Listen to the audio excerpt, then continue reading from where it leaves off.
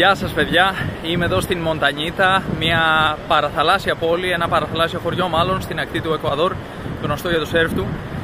Έχω λίγο χρόνο και είπα να μιλήσω για ένα πράγμα το οποίο με ενδιαφέρει και πάντα με ενδιαφέρει πάρα πολύ που είναι οι γλώσσες και μεγαλώντας στην Ελλάδα ξέρουμε όλοι ότι είναι πολύ σημαντικό να μάθουμε αγγλικά, να μάθουμε ξένες γλώσσες κλπ. Και ήθελα να μιλήσω για την δική μου πορεία και πώς έχω δει εγώ τις γλώσσες στην ε, ζωή μου και πώς πιστεύω μπορεί να χρησιμεύσουν επαγγελματικά, πώς μπορεί κάποιος να βγάλει χρήματα δηλαδή χρησιμοποιώντας τη δύναμη του να μάθει ξένες γλώσσες παραπάνω από αυτές που μαθαίνουμε ίσως συμβατικά και πώς μπορεί να το αξιοποιήσει αυτό για να έχει μακροπρόθεσμα ένα πολύ καλό βιωτικό επίπεδο. Εγώ συγκεκριμένα θα σας πω ότι ο πατέρας μου ήταν Άγγλος ε, το οποίο σημαίνει ότι είχα και μια έκθεση στην ε, αγγλική γλώσσα από νεαρή ηλικία. Για την ακρίβεια μου μιλούσαν όλοι αγγλικά όταν γεννήθηκα. Μετά ο πατέρας μου έφυγε στο εξωτερικό και έτσι όλοι αρχίσαν να μου μιλάνε ελληνικά. Ξέχασα τα αγγλικά και μετά έπρεπε να πάω να μάθω αγγλικά σε φροντιστήριο όπως και όλοι οι άλλοι και μιλούσα τα γκρίκλις ας πούμε, αγγλικά με ελληνική προφορά, αλλά μάλλον κάτι είχε περάσει και λίγο μέσα στο κεφάλι από πριν. Αλλά γιατί το λέω αυτό, γιατί όταν ήμουν μικρός θυμάμαι να μαθαίνουμε αγγλικά και πολλοί ήταν περήφανοι για την ελληνική προφορά, πολύ περήφανοι. Δεν θέλανε να κάνουν κάποια προσπάθεια να μάθουν αγγλικά με αμερικάνικη προφορά, με βρετανική προφορά. Θεωρούσαν ότι είναι λίγο ντροπή ε, και κοροϊδεύανε όσους ας πούμε μιλούσαν με προφορά να το πούμε έτσι. Και πού μπορεί να χρησιμεύσει λέει κάποιος η αγγλική προφορά ή η αμερικανική προφορά. Εγώ έχω το proficiency, έχω το lower. Τι να το κάνω. Το έχω το πτυχίο μου. Ε, να σας πω ότι αυτά τα πτυχία δεν έχουν σχεδόν καμία απολύτως αξία στο εξωτερικό. Ενδεχομένως να είναι πολύ χρήσιμα για κάποιον ο οποίος ε, θέλει να εργαστεί στο ελληνικό δημόσιο, όπου θα ελέγξουν πολύ απλά αν έχει το πτυχίο ή όχι. Στο εξωτερικό θα ρωτήσουν πότε το πήρες. Αν δεν το έχεις πάρει μέσα στα τελευταία δύο χρόνια, δεν έχει ισχύ και ενδεχομένως θα πρέπει να κάνεις κάποιο άλλο είδους ε, πτυχίο και μάλιστα ενδεχομένως να μην τους ενδιαφέρει καν το πτυχίο και πολύ απλά να τους ενδιαφέρει πώς μιλάς τη γλώσσα σε ένα interview, σε μια συνέντευξη που θα κάνεις. Αυτό που είναι κατά τη γνώμη μου πάρα πολύ σημαντικό είναι να υπάρχει η ροή της γλώσσας, ιδίως αν θέλεις να εργαστείς διεθνώς, να εργαστείς σε κάποια εταιρεία η οποία συνεργάζεται με πελάτες στο εξωτερικό ή αν θέλει πολύ απλά να εργαστείς σε μια οργάνωση, σε μια επιχείρηση η οποία παρέχει υπηρεσίες σε οποιαδήποτε άλλη χώρα, θα ζητήσουν τα αγγλικά. Είναι το πιο κλασικό, ας πούμε, τα αγγλικά. Θεωρώ ότι πρέπει να υπάρχει μια ροή λόγου. Δηλαδή, πας στη συνέντευξη, πρέπει να μπορείς να μιλήσεις, να καταλαβαίνει ο άλλος τι λες, να μην κολλάς. Πολύ σημαντικό επίσης να μπορείς να κάνεις και λίγο χιούμορ, να κάνεις και ένα αστιάκι και θα κερδίσεις τον άλλον με τον τρόπο που μιλάς και όχι τόσο με το αν έχεις proficiency ή όχι. Δεν νομίζω ότι θα τον ενδιαφέρει. Τώρα, να σας φέρω ένα πιο απτό παράδειγμα που μπορεί να χρησιμεύσει το να προσπαθείς να μιλήσεις με προφορά native speaker, δηλαδή με προφορά ενός Βρετανού, με προφορά ενός Αμερικανού, να μπορέσεις δηλαδή να κάνεις αυτή την εξάρτηση και να μιλήσεις με τέτοια προφορά. Σας φέρω ένα παράδειγμα από το δικό μου επάγγελμα. Εγώ είμαι μαθηματικός, ήμουν σε ένα σχολείο στην Αγγλία και σε κάποια φάση έκανα αιτήσεις να εργαστώ σε international school, σε διεθνή σχολεία στο εξωτερικό. Έκανα αιτήσεις στο Hong Kong, στη Σιγκαπούρη, Μαλαισία, Βερμούδες, στο Ρίο, σε διάφορες χώρες του κόσμου. Αλλά τέλος πάντων δούλεψα στο Ρίο. Εκείνες οι δουλειές οι οποίες παιδιά πληρώνουν, μιλάμε για πάρα πολλά λεφτά. Δηλαδή εκεί στο, στη Σιγκαπούρη και στο Hong Kong μιλούσαμε για δουλειές οι οποίες πληρώνουν περίπου 100.000 ευρώ το χρόνο για να είσαι καθηγητής σου πληρώνουν τα μεταφορικά σου, σου πληρώνουν ένα μεγάλο ποσοστό, για την ακρίβεια σου πληρώνουν ένα μεγάλο ποσό για να μπορέσεις να νοικιάσεις. Απλώς από ό,τι θυμάμαι στο Hong Kong μου είχαν πει πολλοί ότι δεν φτάνουν και πρέπει να δώσεις λίγα και εσύ από την τσέπη σου. Και στο τέλος ενός διετούς contract, ενός διετούς συμβολέου στο Hong Kong, σου δίνανε και ένα 20% του συμβολέου σου στο χέρι ε, για την ολοκλήρωση του συμβολέου. Άρα, ας πούμε, παίρνεις 100 χιλιάρικα το χρόνο, 100 το δεύτερο χρόνο, το 20% θα ήταν 40 χιλιάρικα στο χέρι και φεύγεις. Αυτές οι δουλειές απαιτούν να είσαι native speaker. Αυτό τι σημαίνει, πρέπει να έχεις γεννηθεί στην Αγγλία, πρέπει να έχεις γεννηθεί στην Αμερική, πρέπει να έχει γεννηθεί Νέα Ζηλανδία, Αυστραλία. Συνήθως ναι. Πρακτικά όμως, εγώ γεννήθηκα και μεγάλωσα στην Ελλάδα. Όταν ε, άρχισα να μεγαλώνω στην Ελλάδα, μιλούσα Hello, my name is Constantine, how are you? Μιλούσα Greeklish, κανονικότατα.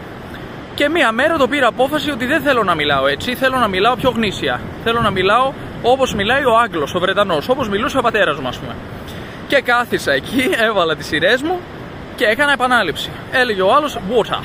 Έλεγα εγώ water. Όχι, δεν βγήκε σωστά. Ξανά, επανάληψη. Water, no, δεν βγήκε σωστά. Ξανά, ξανά και ξανά και ξανά. Μέχρι να το πετύχω. Μέχρι να πω water. Μέχρι να το πω ακριβώς όπως το έλεγε και ο ίδιος. Και συνεχίζω έτσι. Ήταν μια διαδικασία που κράτησε πολλά χρόνια. Από Γκρίκλι πήγαμε σε ψηλό ε, Αμερικανο-Αγγλικά, πήγαμε σιγά σιγά στα Βρετανικά και στο τέλος έφτασε ένα σημείο να μπορώ να λέω ότι είμαι native speaker.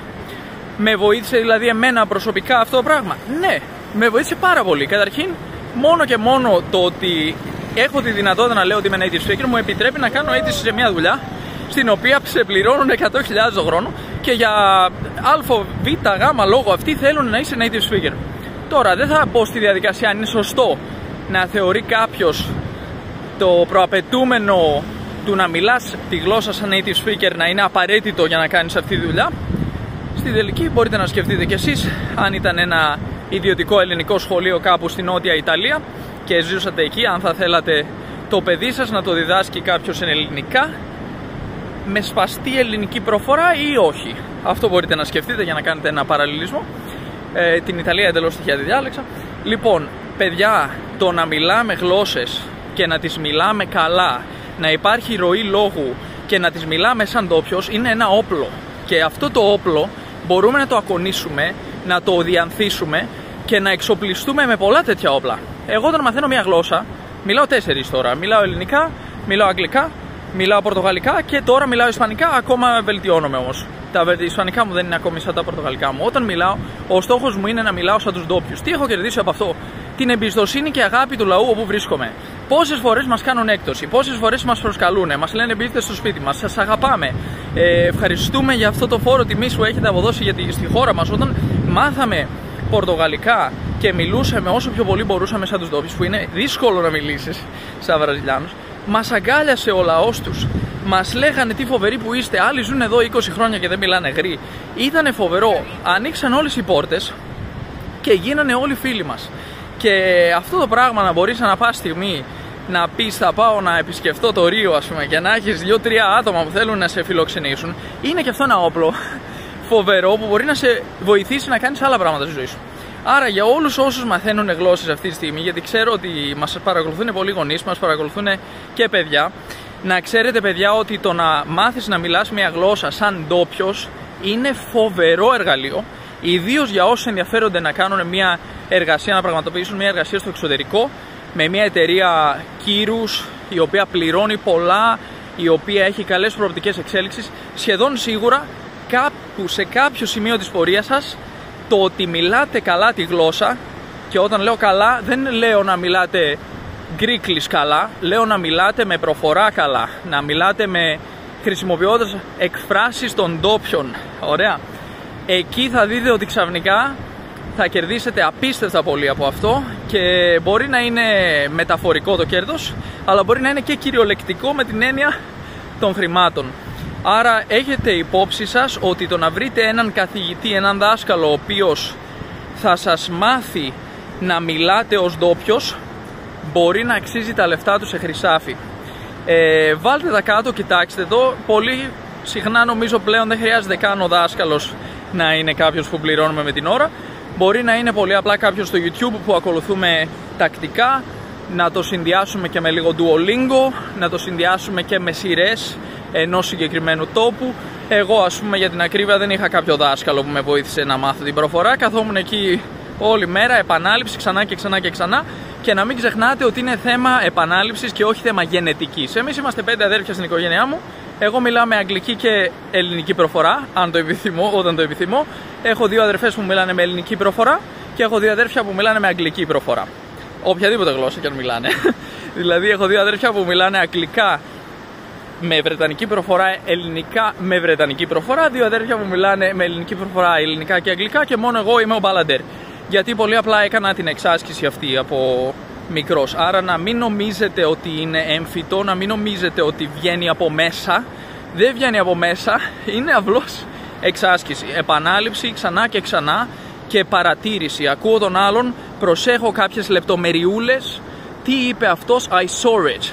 Τι σημαίνει I saw it σημαίνει το είδα. Αλλά γιατί αφού γράφεις I saw it. Γιατί πού είναι αυτό το άρα, από πού βγήκε; Είναι σαν να λέμε στην Ελλάδα, ας πούμε, στην πρίζα. Πού ποια είναι αυτή η μπρίζα, είναι στην πρίζα. Γιατί έγινε μπρίζα; Αυτές οι λεπτομέρειες του τι ακούγεται και πώς και γιατί είναι που κάνουν διαφορά.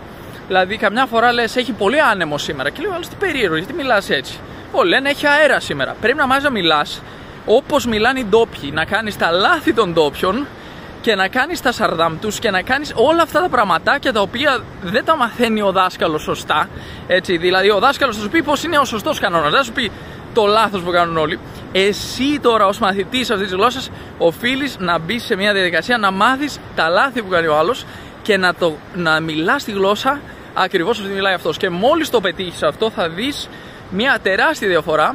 Μη σου πω θα αρχίσεις και να σκέφτεσαι σαν ένας native speaker σε αυτή τη γλώσσα. Δηλαδή, σε κάποια φάση θα φτάσεις σε ένα σημείο να, να βγαίνει και από μέσα αυτό το πράγμα. Στο τέλος δηλαδή βγαίνει από μέσα, αλλά πρώτα θέλει πολύ σκληρή δουλειά, πολλή επανάληψη, εκατοντάδες ω χιλιάδες ώρες. Οπότε, παιδιά, σας παρακαλώ ε, να έχετε υπόψη ότι αν κάποιος σας κοροϊδεύει για το ότι μιλάτε λίγο έτσι, α, σαν Αμερικάνος, σαν Άγγλος, σαν οτιδήποτε, βάλτε τον εκεί λίγο παραπέρα, αφήστε τον και όταν έρθει η ώρα ε, θα είναι ακόμα εκεί και θα κοροϊδεύει αυτός, αλλά εσείς θα είστε πετυχημένοι.